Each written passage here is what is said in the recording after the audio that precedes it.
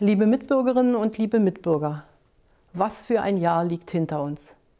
2020 ist etwas über uns gekommen, womit die Welt nicht gerechnet hatte. Ein bis dahin unbekanntes Virus dringt in unsere Körper und unsere Leben ein. Es trifft uns da, wo wir am allermenschlichsten sind. Im engen Kontakt, in der Umarmung, im Gespräch, beim Feiern. Das Virus macht normales Verhalten zu einem Risiko und ganz ungewohnte Schutzmaßnahmen normal. 2020, dieses Jahr der Pandemie, war ein Jahr des Lernens. Wir mussten im Frühjahr auf ein Virus reagieren, über das es kaum gesichertes Wissen und Informationen gab. Wir mussten Entscheidungen treffen, von denen wir zunächst nur hoffen konnten, dass sie sich als richtig erweisen würden. Die Coronavirus-Pandemie war und ist eine politische, soziale, ökonomische Jahrhundertaufgabe. Sie ist eine historische Krise, die allen viel und manchen zu viel auferlegt hat. Ich weiß, dass es ungeheures Vertrauen und Geduld von Ihnen verlangt hat und weiter verlangt, sich auf diesen historischen Kraftakt einzulassen. Dafür danke ich Ihnen von ganzem Herzen. Am Ende dieses atemlosen Jahres heißt es auch, einmal innezuhalten und zu trauern. Wir dürfen als Gesellschaft nicht vergessen, wie viele einen geliebten Menschen verloren haben, ohne ihm in den letzten Stunden nah sein zu können. Ich kann ihren Schmerz nicht lindern, aber ich denke an sie, gerade auch heute Abend. Ich kann nur ahnen, wie bitter es sich anfühlen muss für die, die wegen Corona um einen geliebten Menschen trauern oder mit den Nachwirkungen einer Erkrankung sehr zu kämpfen haben, wenn von einigen Unverbesserlichen das Virus bestritten und geleugnet wird.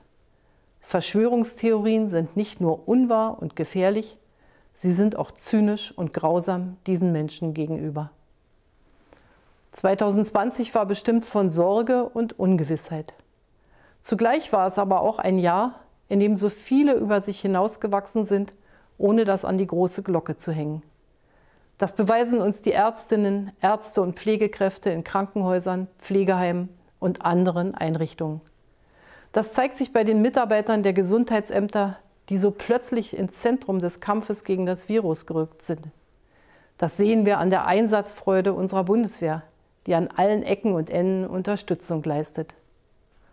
Unzählige Menschen haben dazu beigetragen, dass unser Leben trotz Pandemie weiter möglich war.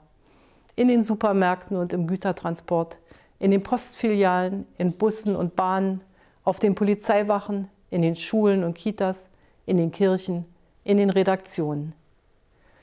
Ich bin auch immer wieder dankbar dafür, wie diszipliniert die allermeisten Menschen ihre Masken tragen, wie sie sich um Abstand bemühen.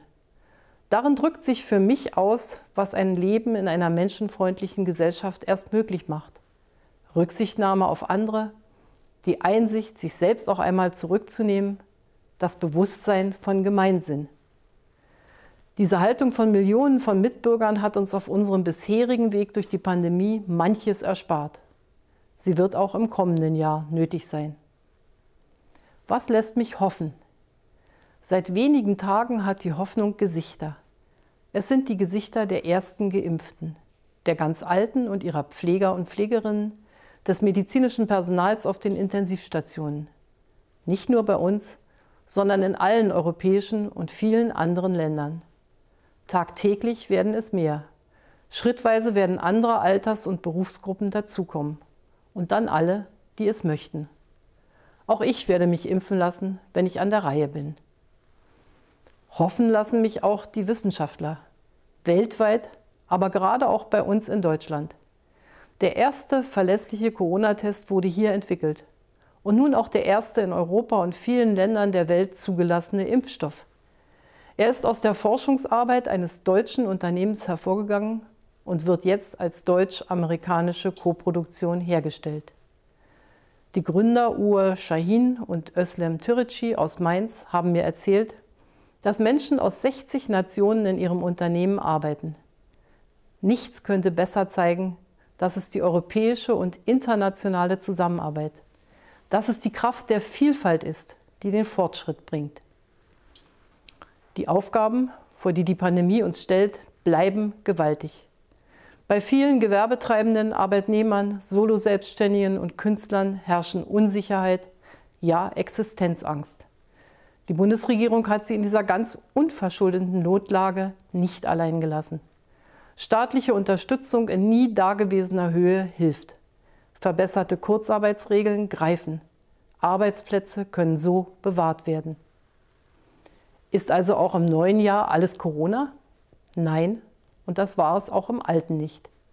Nicht erst seit Beginn der Pandemie verändert sich die Welt, in der wir leben, rasant und grundlegend. Umso wichtiger ist es, dass Deutschland mit all seiner Kraft und seiner Kreativität mutige Ideen für die Zukunft entwickelt. Dass unser Wirtschaften, unsere Mobilität, unser Leben klimaschonend wird. Dass alle Menschen in Deutschland von gleichwertigen Lebensverhältnissen und echter Bildungsgerechtigkeit profitieren können dass wir uns auch mit Europa besser behaupten in der globalisierten, digitalisierten Welt. Liebe Mitbürgerinnen, liebe Mitbürger, diese Tage und Wochen, da gibt es nichts zu beschönigen, sind schwere Zeiten für unser Land. Und so wird es auch noch eine ganze Weile bleiben. Es wird noch eine ganze Zeit an uns allen liegen, wie wir durch diese Pandemie kommen. Der Winter ist und bleibt hart. Wir wissen ja, was wir dem Virus entgegensetzen können.